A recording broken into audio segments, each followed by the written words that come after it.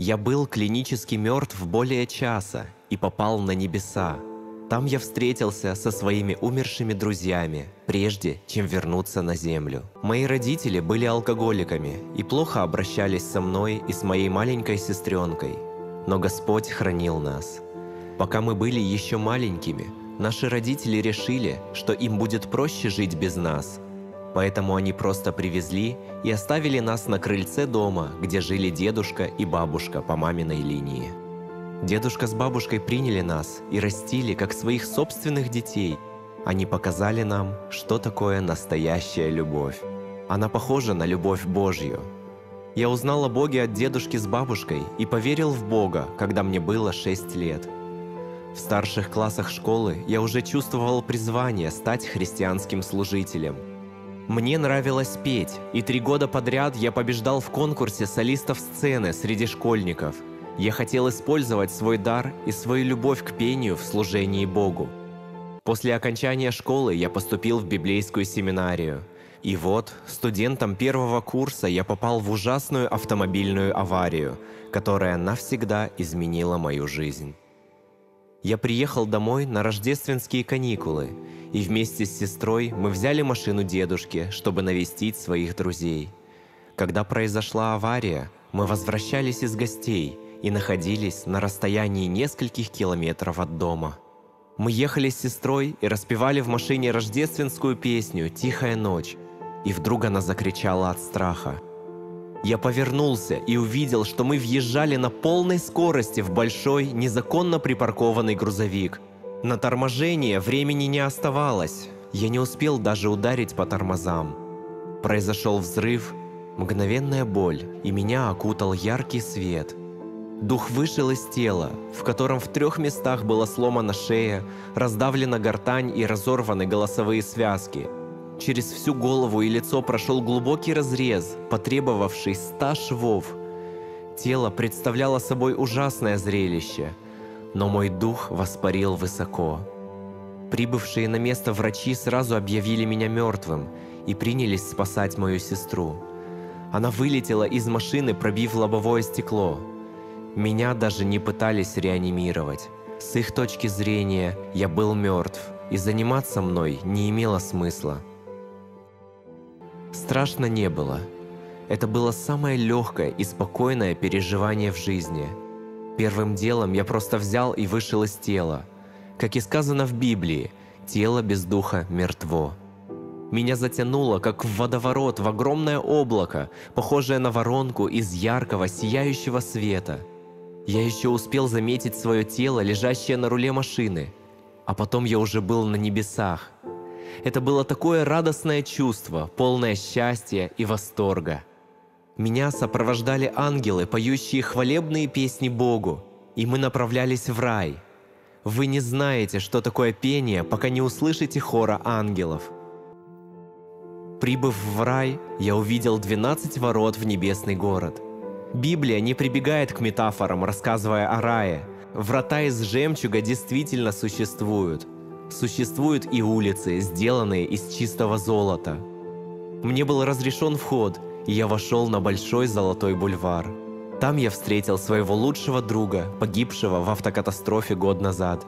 Авария была настолько ужасной, что ему оторвало голову, но в раю он был цел и невредим.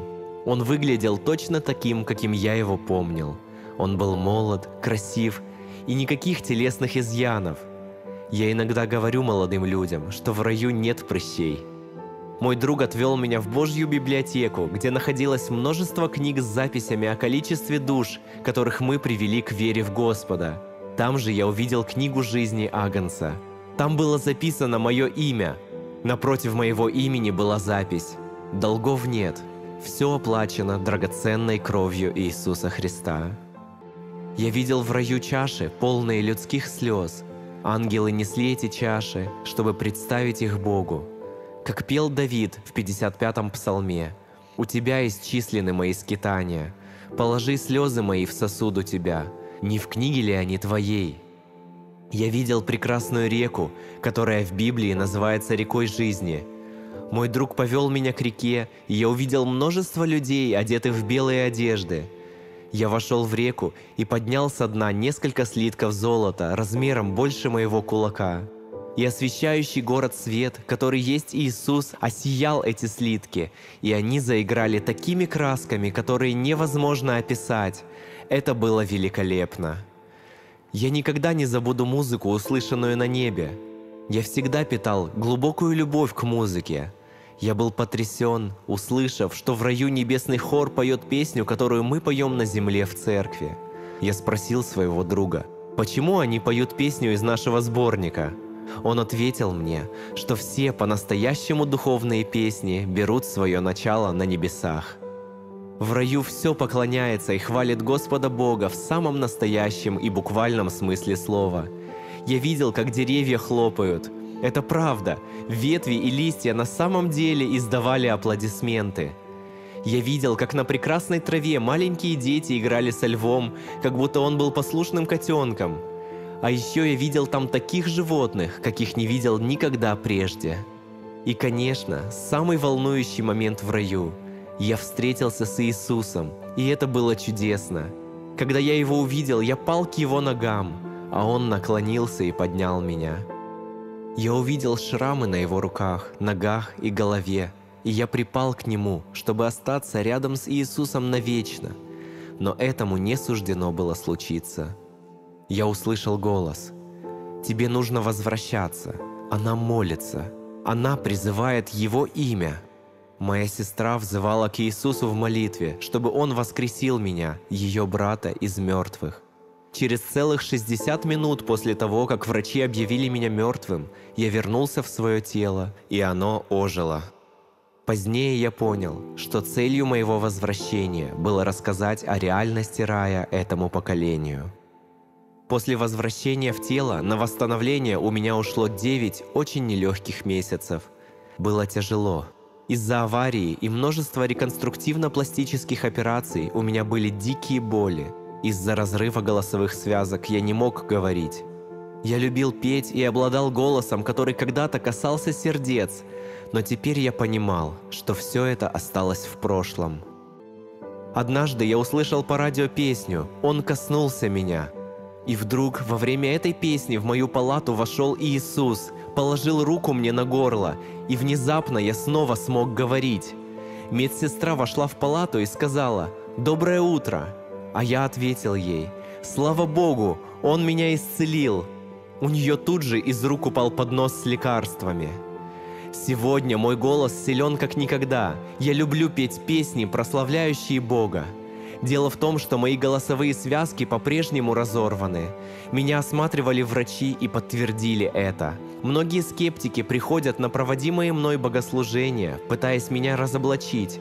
Но слушая меня, а затем глядя на мои рентгеновские снимки, они начинают верить в Иисуса. Каждый раз, когда я открываю рот, происходит чудо. Я вернулся на землю, чтобы передать людям надежду. Иисус поручил мне убеждать людей никогда не поддаваться осуждению, которому подвергает их дьявол. Никогда не верьте его лжи. Он также сказал, что перед его вторым пришествием на землю будет мощное духовное пробуждение людей. Поэтому прошу вас, разошлите это видео всем и примите участие в величайшем духовном возрождении людей через веру в Иисуса Христа – и пусть изливается сила Святого Духа на всех, слушающих это Слово. Аминь.